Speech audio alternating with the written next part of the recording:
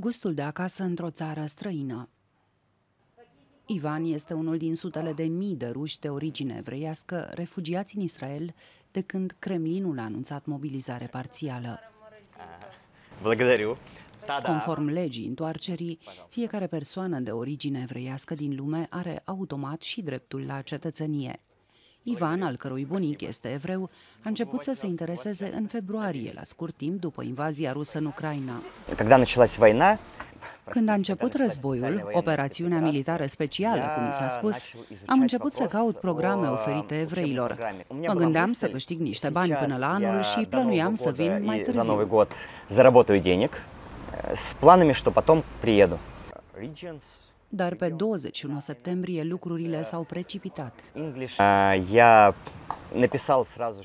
I-am scris coordonatorului de programe din Israel, administratorul masă. Și mi-a spus să nu fac griji, ci doar să plec din Rusia. Am plecat în Kazakhstan. Mai mult de 6.000 de ruși s-au refugiat în Israel de când Vladimir Putin a ordonat mobilizare parțială, dar cei mai mulți dintre ei sunt prea speriați pentru a-și spune poveștile. Se tem de represalii din partea statului rus. Israelul spune că se pregătește pentru primirea altor câteva zeci de mii. Primirea evreilor care fug de persecuție nu este ceva nou pentru statul evreu. The 90s cea mai mare where rată a migrației s-a Israel, înregistrat um, în anii welcomed 90, când over Israelul a one primit million, peste un uh, milion de immigrants oameni from din former fosta Soviet Uniune Union Sovietică. countries. What we've Cifrele seen înregistrate this anul year is a acesta 20-year reprezintă record. recordul It does come ultimelor două naturally decenii. for us Este firesc să le deschidem ușa oamenilor de origine uh, evreiască. of Jewish descent according Aceasta to the este law of vocația return. noastră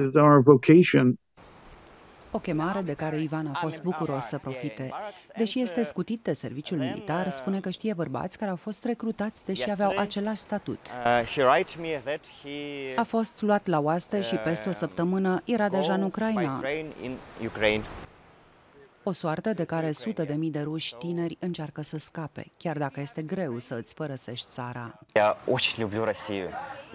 Iubesc Rusia foarte mult. M-am născut și am crescut acolo ca probabil 95% din cei care au plecat, sper să mă întorc acasă când se va întâmpla lucrul la care toată lumea visează. În ciuda dorului de casă, Ivan se bucură că acum trăiește într-o țară liberă.